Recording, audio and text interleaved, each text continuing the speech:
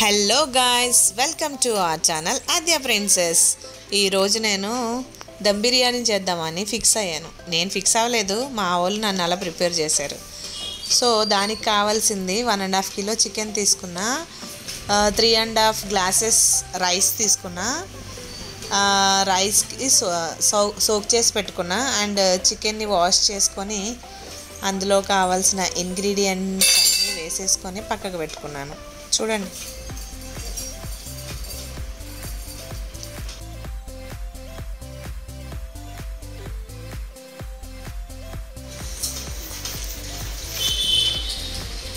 నీట్గా క్లీన్ చేసుకొని వాష్ చేసుకోవాలి. వాష్ చేసుకున్న తర్వాత ఒక ఫోర్ టు ఫైవ్ స్పూన్స్ ధనియాల పౌడర్ వేసుకోవాలి.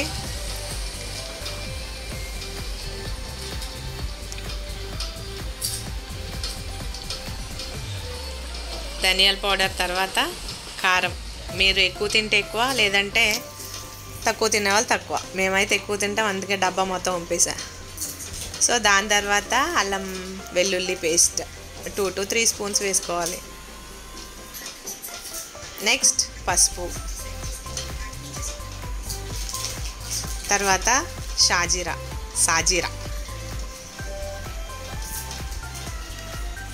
నేనైతే ఒక వన్ అండ్ హాఫ్ స్పూన్ వేసుకున్నాను. ఇది అజినమోటో మన ఇష్టం వేసుకుంటే వేసుకోవచ్చు లేకపోతే లేదు. Next Aachi chicken biryani masala. ఏ బిర్యానీ మసాలా అయినా బాగానే ఉంటుంది. ఆచి కొంచెం టేస్టీగా ఉంటుంది. నెక్స్ట్ కర్డ్ యాడ్ చేసుకోవాలి. కర్డ్ కొంచెం ఎక్కువ వేసుకుంటేనే బాగుంటుందండి. చికెన్ జ్యూసీ జ్యూసీగా మంచిగా కుక్ అవుతుంది అనమాట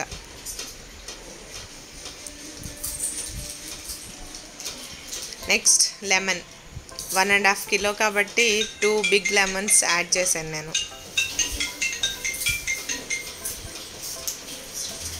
నేను లెమన్ జ్యూస్ వేస్తుంటే మా ఊడు నేను వేస్తా నేను వేస్తా మమ్మీ అని వాడేసాడు. నెక్స్ట్ అన్నీ వేసిన తర్వాత మిక్స్ చేసుకోవాలి మంచిగా మిక్స్ చేసుకొని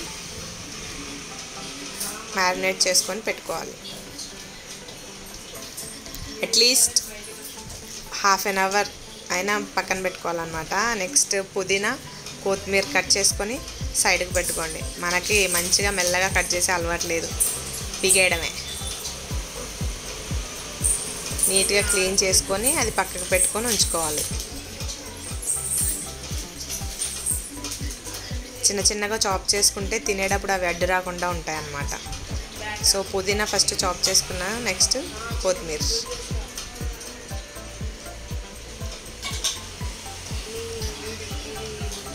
Next two onions big onions నీట్గా కట్ చేసుకొని బ్రౌన్ కలర్ వచ్చేదాకా ఫ్రై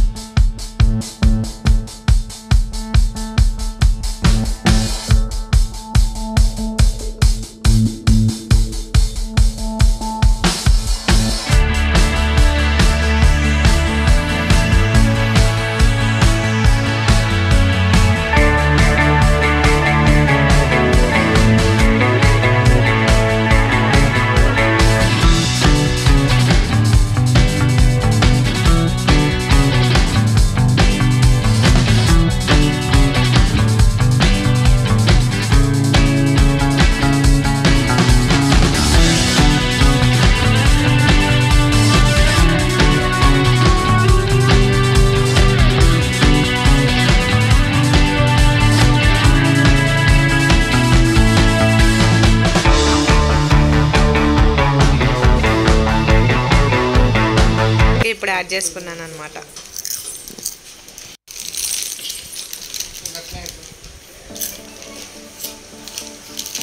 పుదీనా కొత్తిమీర వేసిన తర్వాత మనం ఫ్రై చేసి పెట్టుకున్న హాఫ్ ఆనియన్స్ అంటే అందులో సగం ఆనియన్స్ కూడా చికెన్లో యాడ్ చేసుకోవాలి.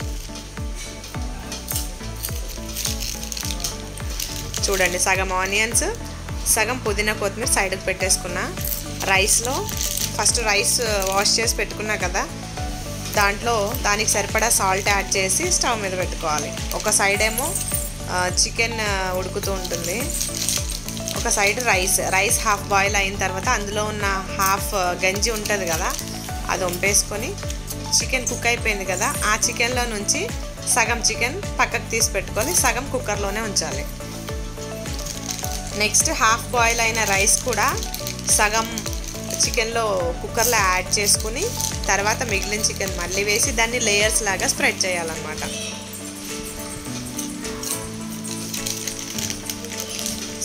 వేస్తున్నా చూడండి. మంచిగా కుక్ అయింది. హాఫ్ బాయిల్ చాలా బాగా అయ్యింది. ఎక్కువ కుక్ చేసుకుంటే బిర్యానీ పేస్ట్ అయిపోతుంది అనమాట సో హాఫ్ బాయిల్ చాలా కేర్ఫుల్గా చేసుకోవాలి. ఏమాత్రం రైస్ అటు ఇటు అయిందంటే మాత్రం బిర్యానీ చికెన్ ప్లస్ రైస్ లేయర్స్లా వేసుకున్న తర్వాత మనం మిగిల్చి పెట్టుకున్న పుదీనా కొత్తిమీర ఉన్నాయి కదా అవి యాడ్ చేసుకోవాలన్నమాట. చూడండి రైస్ లేయర్స్ లాగా వేస్తున్నాను. సైడ్కి పెట్టుకున్నాం కదా మనం ఆనియన్స్ ప్లస్ కొత్తిమీర పుదీనా అవి కూడా ఇప్పుడు యాడ్ చేసేసుకోవాలి పైన.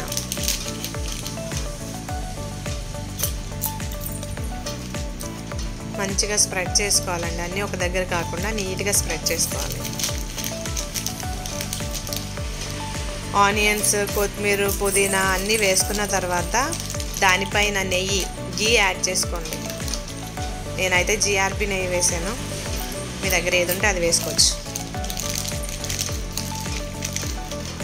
ఇదంతా ఏంటంటే మనం రైస్ కుక్ చేసుకునే దానిలోనే ఉంటుంది. రైస్ మాత్రం అటు ఇటు కాకుండా నీట్గా కుక్ చేసి పెట్టుకోవాలి. దాని తర్వాత అన్నీ స్ప్రెడ్ చేసుకొని వేసుకున్న తర్వాత కుక్కర్ లిడ్ పెట్టేసిన తర్వాత స్టవ్ మీద పెట్టి స్టవ్ మాత్రం సిమ్లో పెట్టాలి. హైలో పెట్టకూడదు అలానే మొత్తం సిమ్ కాదు కొంచెం మీడియం ఫ్లేమ్లో పెట్టాలన్నమాట.